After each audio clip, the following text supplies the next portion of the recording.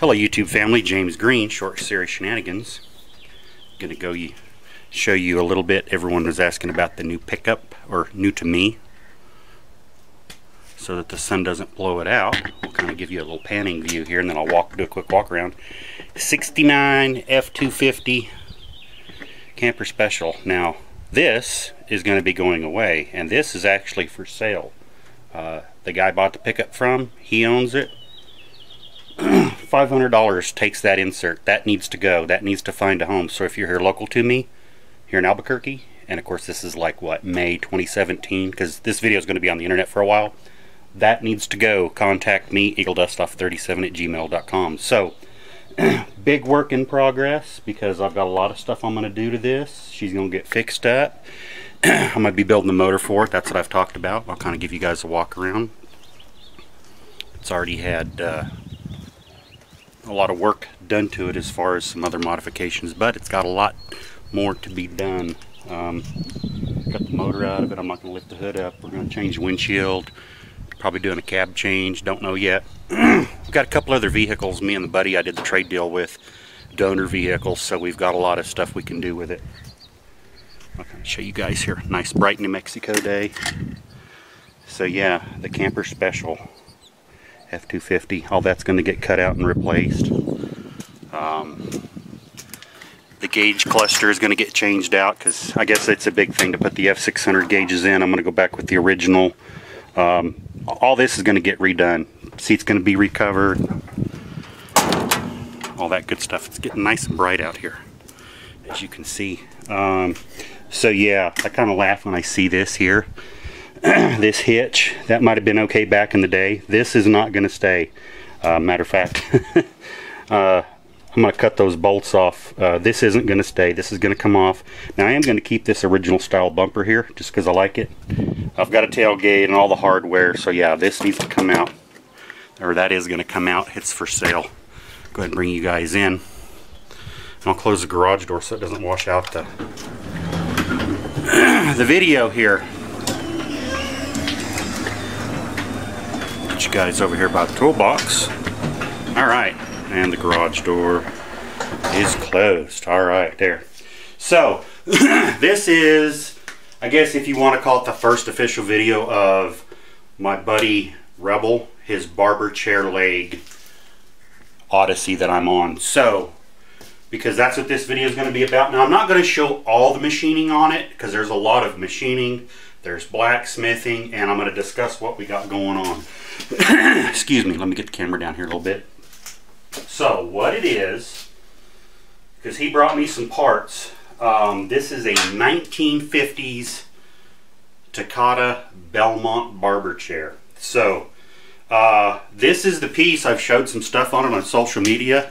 This actually goes down the left-hand side. I've got both left and right pieces.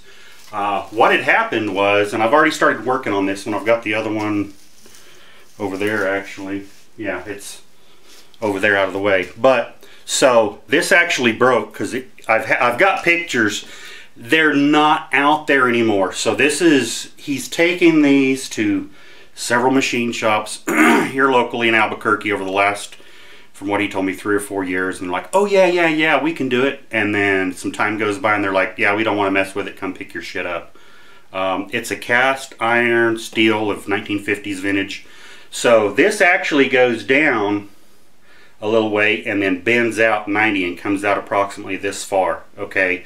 And that is where, because what fits right here, okay, now if I'll show you, that fits there, that's where your leg rests, okay, if you're in a barber chair, and there's padding. So this is all going to get re-chromed and everything, but it fits there, okay? And then it goes down, and here's the foot piece, um, that it'll actually, once this fits onto the piece that goes down that's supposed to attach to, actually let me get backwards. So it'll go down and attach to the side of this and this is where the footrest is. So there are no pieces available. Uh, so I'm building this off of pictures I found on the internet and having to determine dimensions. So we started out with some cold roll, wide stuff, um, I talked in last week's video, or the video before this, when Sunday Shenanigans, it was cast steel parts, or cast iron, whatever, from a different barber chair that broke. TIG welding it, silicon bronze, that's what we're going to do to this. So, because this one, it already broke right here, and so they cut the other one off the same. So we're recreating, and I've already started pulling all the chrome off. And so I'm making the piece straight first. I've already started with one, and it's a lot of handwork involved. So you guys saw me milling this stock down to thickness, okay? And we've already started profiling um, because I've still got to come back and I'm, this is a bunch of, we've got, so we're going off of pictures. We've got the width and everything because it's the same as here. I've got to determine how far down and out and I'm even going to try to do some research here to see if I can find a chair similar to this and look at it so I know to get everything close. Um, here's the other one. I've already started milling the sides down to get the profile as you can see. Um, I am actually going to mill out, and it's a 7 16 slot down the center. Uh, I am going to mill out a bunch in the back here to lighten this up, okay, so it's not as heavy. Uh, what we're going to do, and I'll discuss it a little bit and then we'll start with some machining, is I'm going to whittle this down, you know, take some stuff out because at some point I have to come down here and create a bend okay, a 90 degree bend. And of course the end of this is actually, I went ahead and milled all the way through it because it's still an unknown. I may have to, I'm making these longer than what I need. So once I determine, after I get everything bent and everything, once I de decide how far out that step needs to be, I can come in here and cut it off. And then because this should have this that goes around the end, that's just a matter of, you know, fill it in with some filler metal, blend it out, and get all this done and then it's gonna this is all gonna be chromed. Um, I am gonna pull some material out of the back so it'll make it lighter easier to bend. A lot of work to do milling work. Uh, I'll probably go back in here with the back of a ball mill. Um, don't know if we have time for today's video but I'm just to talk you through it show you what we got. Um, so at this point all we're to have to do uh, because this was a cast item, is we're going to come back up in here and I'm, you can see where, so there was actually a piece right across here and I've cut it out and I've just started, you know, cleaning it out, getting all the chrome, all the rust, everything off. We're going to come in here, I'm going to dress this up uh, because I want to fit this up in here quite a ways. I would like to come up in here at least this far okay, and in and work it. And work that way I have a good, so we're not going to do a butt weld. We're going to come in here. I want this to come up in here as far as possible. I'm thinking about this should be far enough. Uh, and, and, we're going to V it out and I'm going to weld in and around back here. And we still got to have room for all that to fit. Um, so when we weld, everything is going to be below this level here and we got to fit it in. Of course, we're going to weld prep, and uh, all we have to do at this point is, because of how it sets, because this is the front, is I got to figure out how far down it needs to come. Okay, and we're going to have to do a little bit of shaping, not much. But from the pictures I can tell, it comes down about three and a half, four inches, and then it turns at a 90 degree. And I've got to figure, and it's kind of, I've found a few photos uh, that are really, really good that I can pull up and, and estimate because I know I've got this, I know the dimensions, I know what it is distance from this hole to this, or they show this on here. And so what I'm actually doing is using, um, which it's a good thing because they show this piece and I know how long this piece is. There's a lot of detective work. So what I'm actually doing is how I've how I've determined that I'm going to do it right now is I know this piece is that long. For example, I'll just grab a tape measure here for. So this piece there is approximately, you know, two and a quarter inches. So if I know this is, is two and a quarter, from that I can deduce how much further down I need to go and then how much further out. So a lot of neat detective work. Um, I'm really enjoying the project. I can see where a shop, all they do is they want to just throw it in the machine and get it out. This involves, number one, time going on the internet. So I guess if you're doing CNC stuff, that would be design time. like Keith Fenner says, it's computer animated, cartoon animated drawing, literally. Um, so I'm enjoying it. Great stuff. Uh, having to figure it out. You know, I've been working. This sped up the build on the anvil as well, too, you guys. I'll kind of give you an update on that. Sorry about that. So, I got a little bit more to do, but we need to have that anvil heavy. Uh, and all this stuff is going to get moved around, and I got to do some more work. Uh, having this thing heavy like it is, and I've still got to put my gussets in here. I hadn't done that yet. And everyone's beating me up on the casters. They're like, those casters, uh, those are actually pretty good casters. They're rated for 500 pounds a piece, but I'm not going to be beating on it. There's going to be some jack legs that come out and go down that actually, when I get ready to hammer on the anvil, those will take the brunt and not the ball bearings in the casters. So I have thought about that. But so right now, that thing is between 400 and 450 pounds. It is a monster, monster, which we're going to need that when we do this heating and a beating on these things because we're going to be firing up the torch. the rosebud, we're going to have some stuff clamped out here. And depending on, because I'm going to try to heat them both at the same time. And so, you know, we've got to do some, got to do some work here. So that's what we got going on. Lots of neat stuff. Uh, you know, I'm trying to think. I know there's been several things I've been talking about. I got a lot of irons in the fire, so lots of meat to take out. I'm going to put you guys, I don't think the camera washed it out too bad. I'll set you guys over here and we'll go ahead and get started and we'll do a little machining because we've got a little time. Sorry about that. You guys know me live and unedited. So yeah, giving our guys at American Rotary a shout out here. We're loving our rotary phase converter. if you guys and gals want a three-phase piece of equipment, get an American Rotary phase converter. What's nice about them, you guys, if you've watched my videos, you know, uh, not like the old ones that eat up cell phones and video cameras, excuse me, they're great, and you'll hear it. And remember, my camera, the microphone on here, picks up everything. Like if you watch some of my other videos, you can hear my hot water heater light up. It goes whoosh. So it's got a really, really good microphone. So as a disclaimer, I like putting that out there. Things on the camera sound louder than they actually are. So, you know, this is a, everyone asks me, it's a Canon Vixia, uh, I forget what exactly model, but uh, it, I got it at Costco uh, a couple years ago. Well, about five years ago now. So they've got new ones out. They're great. So we're going to go ahead and continue with what we got. We have a 7 16 two flute end mill I'll get you guys zoomed in a little bit and we'll see some milling action here. Get you over, sorry about that, right there. All right, two flute end mill.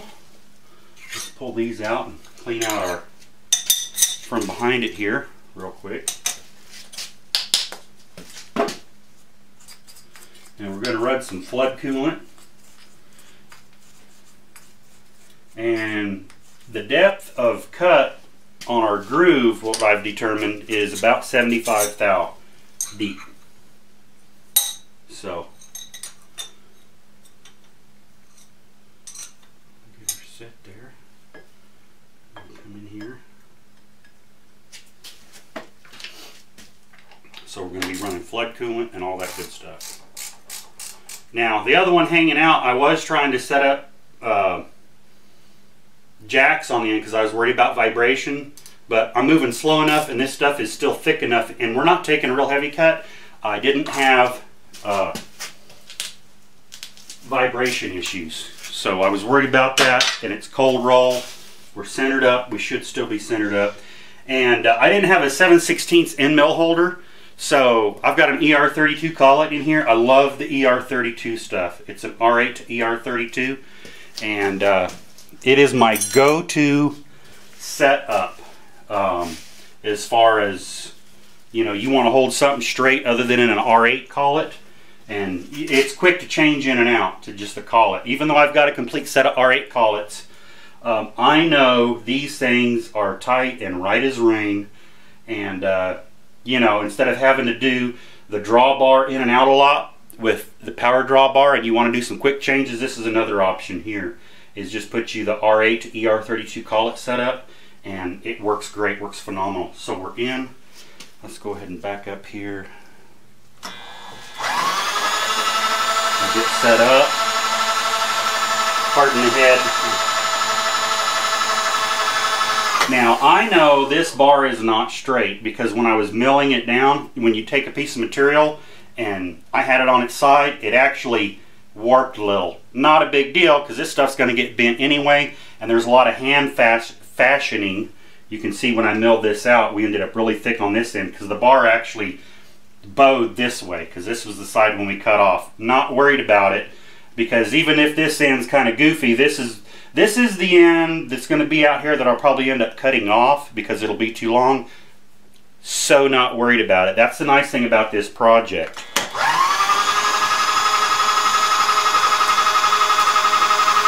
Doing something like this is there's there's nothing that's hard, fast, exact.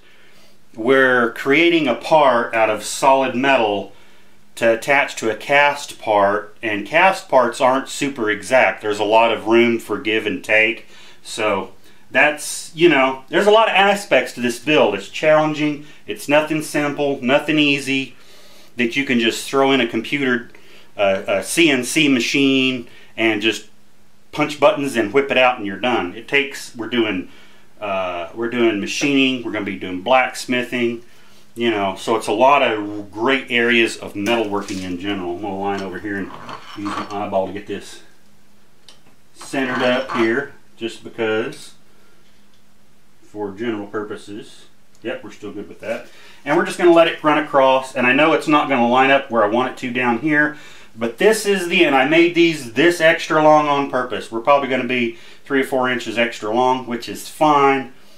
That way, in the process of the making and the bending and whatever, I know I'm going to cut some off. I did that on purpose. I didn't want to try to make this two size and whatever. And we've got more material, so in case something goes wrong and you know we scrap apart, we've got more stuff we can do. So let me go ahead and get my plug to my wheel in here. And flood coolant is going to try to start. So first, we'll call that there. I'm going to balance 75 thou. Take this to zero.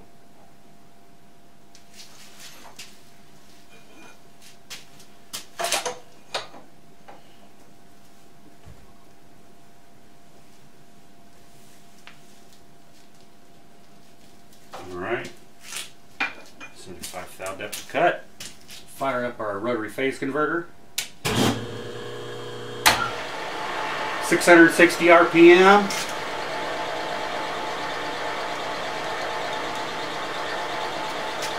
got this locked in.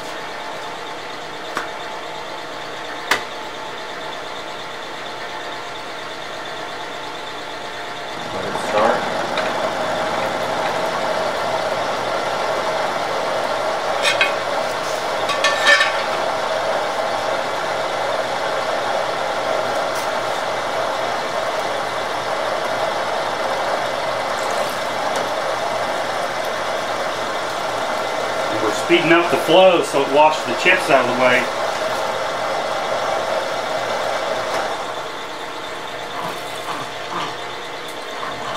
Yep.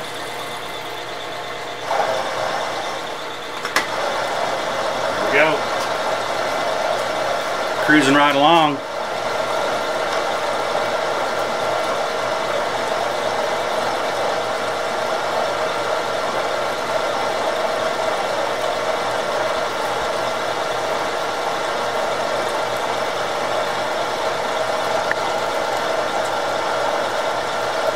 Here we go.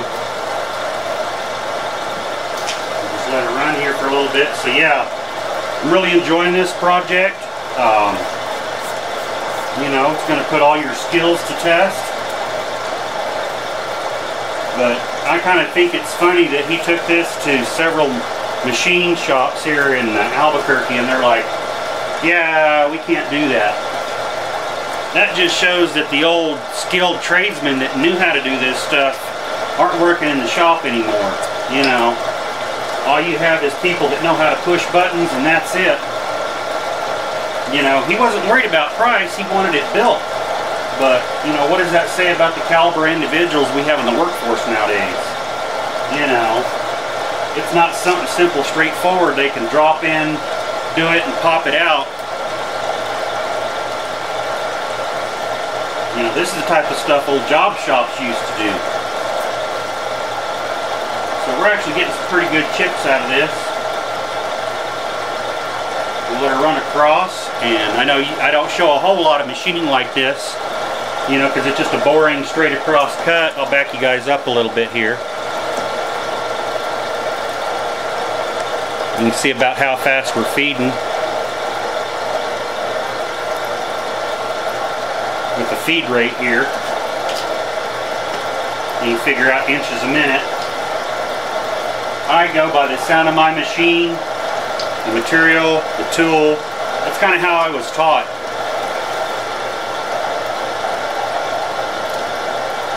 I'll get over here and slap this one in. We just kind of come over here and pull these back a little so we get a little flood cooling out. Yeah. Raining good. But yeah, this is uh, this is the other piece we started on. I just started around in the end, you know. I know I'm probably going to have to cut this off, but uh, I like this because it's whittling in metal. Now I decided what I am going to do on the back here because we don't want this solid um, is I uh, what I am going to do is I'm probably going to come in with a ball end mill and uh, take a lot of this out and depending on how much time we have on the video well we may not but uh, you know actually you know what guys I'll do another video because as soon as I get done here I'm going to flip these over and we'll show running the ball so that we might as well. I mean, it's hard to build. So we'll, we'll run a ball end mill in another video across the back. We'll kind of figure out what size we need and I'll do that off camera. Show some neat stuff. It's all part of getting the project done. Yeah, I'm real. I'm really excited about this. Getting to use the big anvil in the back here. Um, yeah, I got to dress her up, but uh, so this is going to be the first project that I get to use the, uh, we're still trying to think of a name for the anvil. I had a buddy of mine give me a name, and uh, we're thinking about calling it the Big Mama Jamma. That just kind of, but then that song gets stuck in your head. It's Big Mama Jamma and that song gets stuck in your head the rest of the day. You're welcome. Zoom you guys in a little bit here.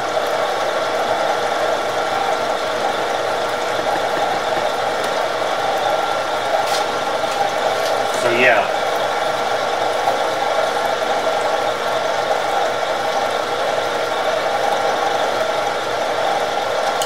that's that's running.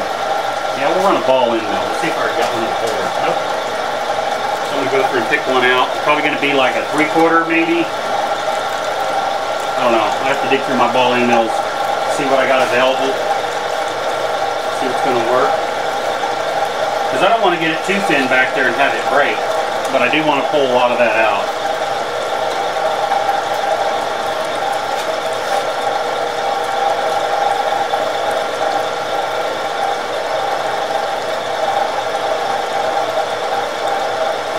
Matter of fact, I'm not even going to run all the way to the end on this.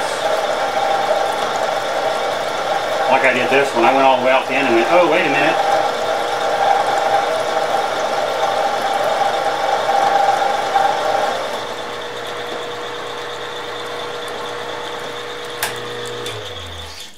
Because I know that this has to be rounded out here on the end. And we'll just stop there with that.